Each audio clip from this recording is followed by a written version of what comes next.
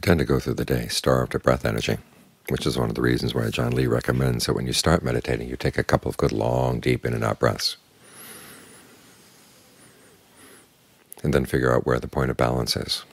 What is enough, long enough, deep enough? What's too long? What's too short? What's too deep? What's too shallow? A lot of concentration is just this, finding the point of balance. You can also look at the balance of your body. Is there more tension on the left side or the right? Are you more sensitive to the left or more sensitive to the right? Trying to bring things into balance. And it creates a sense of well-being. As you go through the day, you're not feeling that you've got a big lack someplace. Because when there's a sense of lack, then you go out feeding on things outside, trying to make up for the lack, and it doesn't really do it. A lot of it is just this issue of energy balance in the body.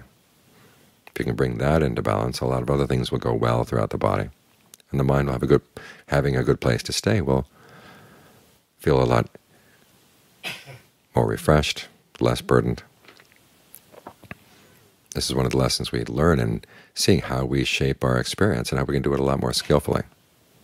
And how shaping your experience skillfully is not a selfish thing, because when the mind is out of balance, the body's out of balance, your actions are going to be out of balance too. Start doing and saying things that are oppressive to other people, disturbing, irritating, sometimes even harmful. So you look after yourself, and as the Buddha says, you look after yourself and you're looking after others as well, like that image of the two acrobats. If you maintain your balance, it's a lot easier for other people to maintain their balance as well. If you're running around worried about what this person's doing, what that person's doing, you're losing your balance, and in losing your balance can knock them out of balance too. So start right here and try to maintain that sense of balance as you go through the day. If you feel you've lost it, stop. Ajaan Fuang used to comment that when you're doing any work around the monastery, if you feel that the mind has slipped off, okay, stop whatever you're doing, stand still for a bit, bring things back into balance, and then start your work again.